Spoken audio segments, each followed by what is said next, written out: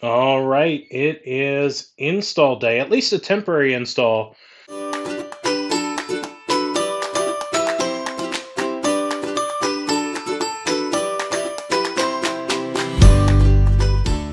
Um, being completely fair to Starlink, after going zero for three on the initial deliveries of the main dish, uh, the extra cable, and the long arm, we finally did get the long arm. It didn't work. I'll show you why in a minute. Uh, but the uh, the team at FedEx actually did go two for two on getting the Ethernet adapter here. Um, the original plug from the satellite goes in this end.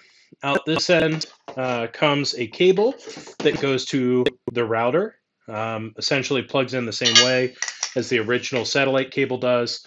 Uh, and then on this side also is the network connection back to the rest of my network. Um, this is the transceiver that's going to go into my UniFi. Has nothing to do with Starlink. That's on my end. But this other box is the roof mount. Um, the roof mount was on back order. Uh, I ended up finding out the long arm wall mount just would not work for my install. Uh, and I'll show you why here in just a minute. Um, so the long arm wall mount finally came off back order at the end of January. And we are going to do essentially a temporary ground mount at first and then move it onto the roof probably next weekend when I've got some help uh, just up on. Speaking of the roof mount, let me show you real quick what comes in there. First of all, you have the main mount. Um, the intent here is that the tube on the roof mount is at vertical. Uh, and so it can sit at whatever angle your roof happens to be. Move the tube to a vertical position and then tighten the knob. Uh, it is pretty solid construction, just like the wall arm mount was. You can see it's it's actually got fairly thick metal that they've they've then have kind of hollowed out underneath, both to make it cheaper to produce and to make it a little bit lighter. Uh, it will hold in place with two lag screws that are also included with the kit.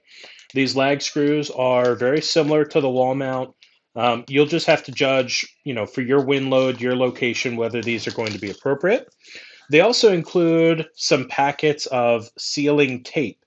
Uh, so this is to help make sure that as you're putting holes in your roof, you're not creating new leaks. Um, and they include a box of cable clips so that you can run the cable from wherever you put the wall mount uh, and the satellite to where you need to run the cable into the house.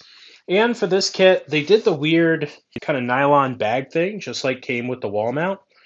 I'm not really sure why they include this. My best guess would be like something to put the different parts in so that you can safely carry them up a ladder. Um, it is a little bit odd, but it's in the kit too. They also include the instruction book. And just as you can see here, the intent is for the satellite to snap into the wall mount using the proprietary mount system the bottom of the satellite stem.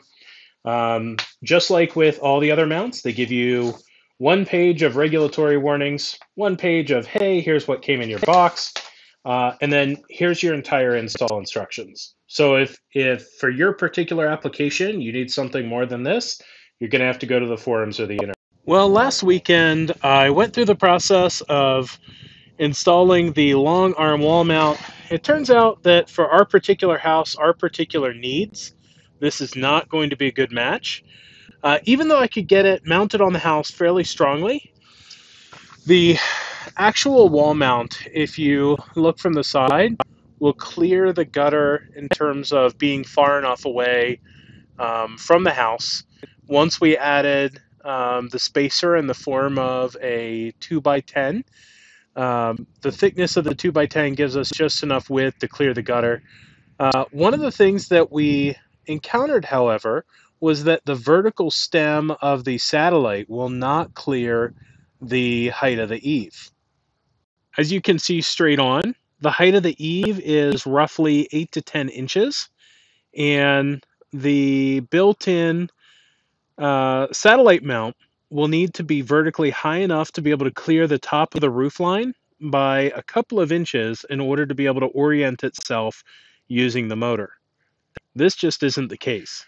The actual satellite stem is built in. You can see by my hand that you really only have about six to eight inches. But because of the motorized nature of the satellite, the reality is from the point where you're mounting, whichever mount you use, uh, actually finishes the, the vertical piece, either the pipe adapter or the roof mount or the long arm mount like we have, um, you really only have a couple of inches between the bottom edge of the satellite and the actual pipe. Um, because of the asymmetric base it has to orient in the mount in a very specific way. You've got to account for that in your install.